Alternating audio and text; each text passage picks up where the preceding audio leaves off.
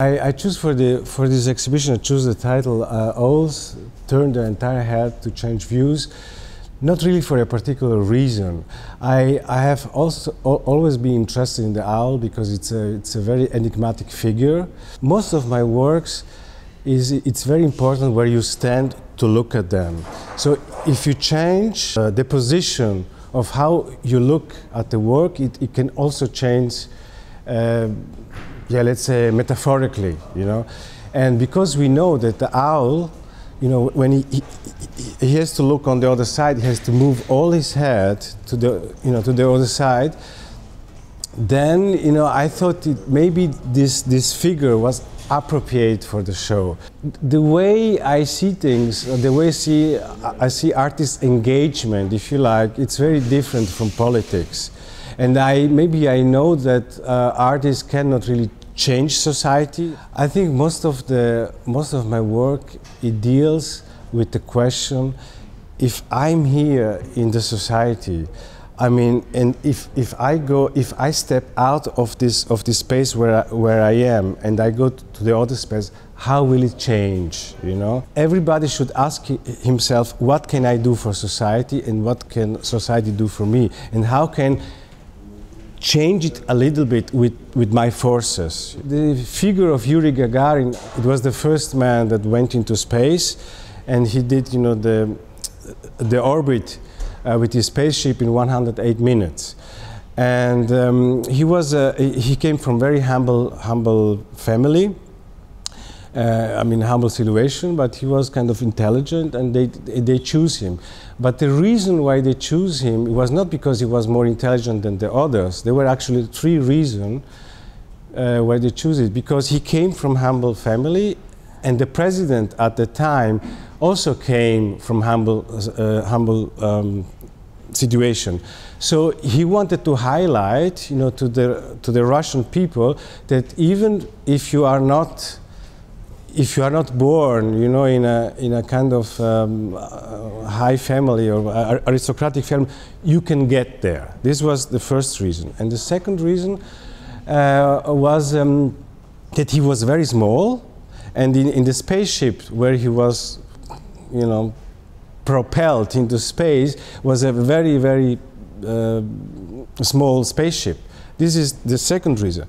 And the third reason, you will never believe it, is because he had a wonderful smile. So these people uh, from the, they thought if this guy is coming back, because they, they were not sure if he was coming back, he, he, he would be the perfect thing, you know, for propaganda. That's how, actually how it happened.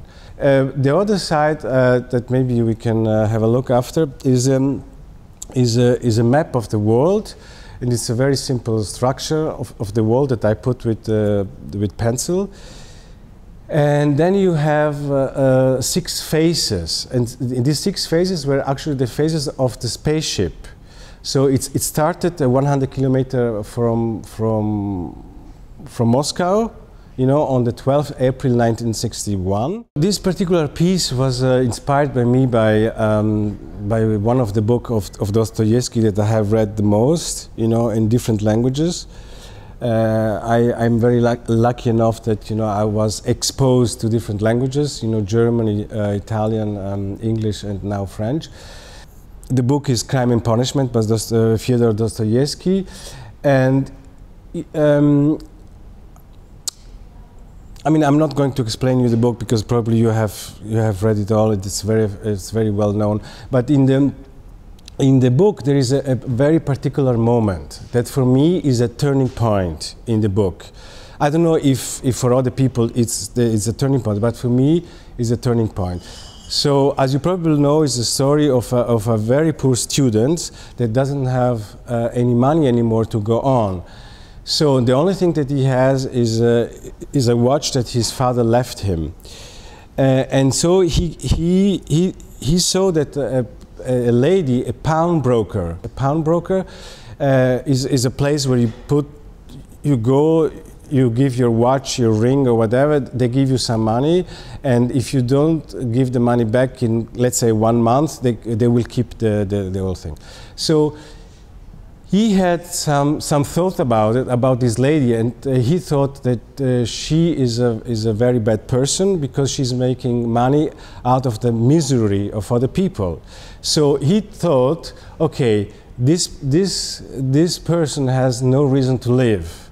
And I'm young, uh, I, am intelligent, and I, I can go on, and I can change society if I can go on with my study. So he decided to kill her then um, he, he goes to the, to the house of this lady. It's on the fourth floor. It's important to know that.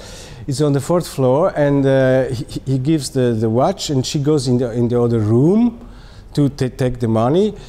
He goes in the other room and he kills her with an axe. So then, you know, he's there with, with all this bloody mess, uh, and he and he, he hears that somebody's coming. So it's the sister of this lady. So he, has to kill also this, uh, this person. Finally, he's like in trance with all blood all over, you know, on the, on the wall and everything. And he hears, oh my God.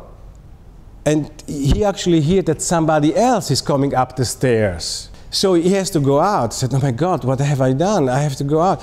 So, and there is this specific moment when this, when when he wanted to go out to escape, let's say to escape his responsibility, but he, he hear this kind of guy coming in, uh, this person. He doesn't know if he's a lady or, or a man, but he, he wants to go out, but he can't go out because if he would go out of the door, the, the, other one would see. So he locked the door. And there is this specific moment when these two people are on, on other side of the door. He knows that the other one is here, but the other uh, uh, one doesn't know that the other one is here. There is a kind of, uh, there is a, a certain kind of strange symmetry and dissymmetry. So I was interested in that moment because for me, this would be the turning point of the, of the novel. Because if he would open the door at that specific moment, everything could change. He said, okay, it was me, I did it, I, am poor, I wanted to live. I, I know maybe it, it, it, was not right to do it, but, but because he doesn't do that, the whole all uh, 970 pages you know, enrolled, and you probably know what happened. So to make it really short, what I, what I do, did is to take the specific page where this uh, specific action occur, I cut it, I know I transcribe it with a pencil, so it's not a photocopy of the book. It's not even the book itself, but it's a transcription. This was very important for me. It's a transcription of the of the typeface of the book, uh, with the text, of course. And then, you know, from the very beginning, I thought I, I, I want to do it. You know, it took three, four days to do it, very min minutious, minutiously. I cut it in two, and one part I tried to burn it three times. People ask me, why three times? I don't know, I just like the number. And if, if it was it was really burnt and if you don't have wouldn't see anything anymore it wouldn't make any problem for me. I would try to, to take the pieces the, the, the fragments the burnt fragments and uh, and and put it in the you know on, on, on a paper. I was let's say lucky enough to have this so you can still see some of the text and the other half, which was left untouched, is on the other side of the world. So, you know, I would like that, you know, people that look at this object, they, they look at this object only for maybe two minutes and then they forgot about it, you know? And they, and they see maybe the relation between, you know, the, the wood structure and the, and the copper and the glass which is is is uh, is a glass which is uh, 145 by 145. It's uh, it's polished on three sides, but not on one, so it's a little bit dangerous. All of these elements are important to epidermically understand the piece. Um, I came here to Paris uh, only for five months with uh, with a grant at the Cité des Arts, and for uh, crazy reasons I stayed and. I mean, I have met a lot of people. I'm very happy to be some in some sense, in some way, a part of this uh, group. I, I, find it very exciting here. Um, maybe it's not really uh, easy, but it's never easy. So, and I'm very, very, very, very grateful to to that director of this institution that, uh, that is giving me this fantastic opportunity to show a, lit a little bit more of my work and maybe to, to be able to, yeah, to talk to people about uh, uh, what my practice, what my dreams or whatever is through the works.